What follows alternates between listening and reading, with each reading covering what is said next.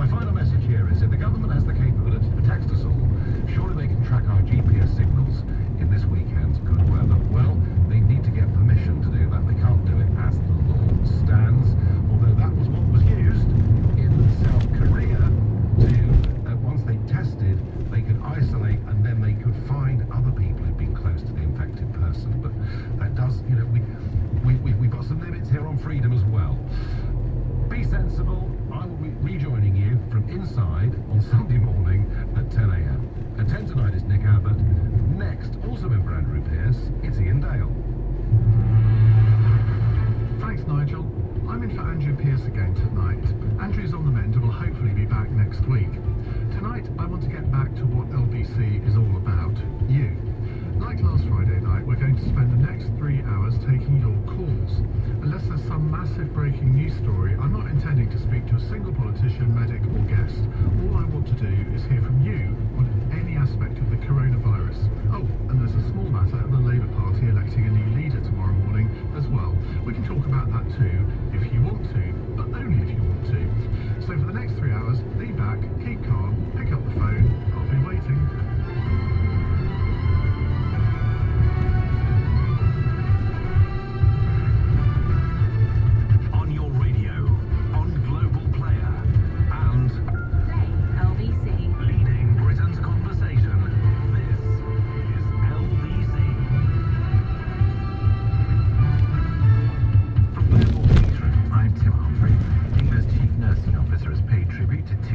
who died after contracting coronavirus, but she's warned there are going to be more.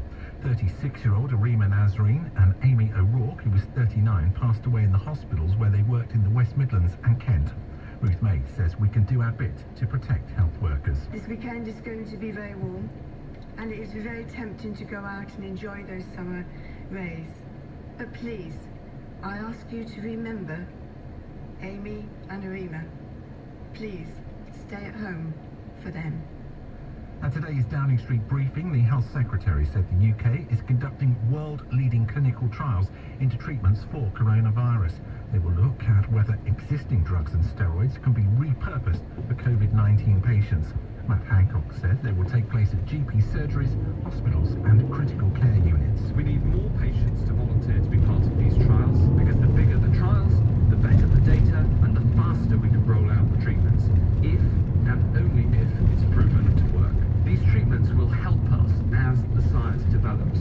But for now, the only way to protect yourself and your family from this disease is to stay at home.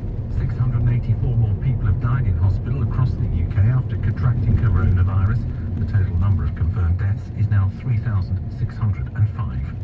In Spain, there's been a fall in the daily death toll for the first time in a week. 11,000 people have died there in total. Italy has recorded another 766 deaths to reach a total of 14,681. Prince of Wales used a video link to open the first temporary Nightingale Hospital in East London. In this dark time, this place will be a shining light. It is symbolic of the selfless care and devoted service taking place in innumerable settings with countless individuals throughout the United Kingdom. The unit in the Excel Centre will eventually have the capacity to host 4,000 patients. The Queen is to address the nation and the Commonwealth on Sunday evening. In the city, the FTSE 100 closed down 65 points at 54.15. The pound buys $1.23 and €1.14. And the weather, rain and hail snow in Scotland tonight, mostly dry elsewhere with clear spells and a low of 2 degrees. Most places will be dry tomorrow with patchy sunshine,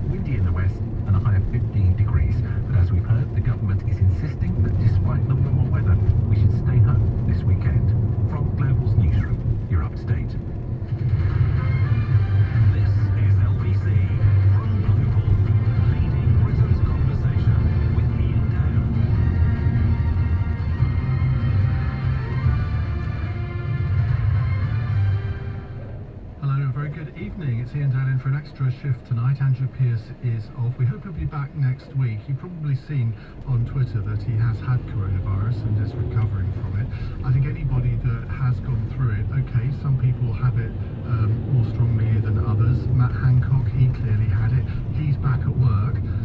Um, but Boris Johnson, the Prime Minister, is, well, he is at work, but he's put out um, a video message today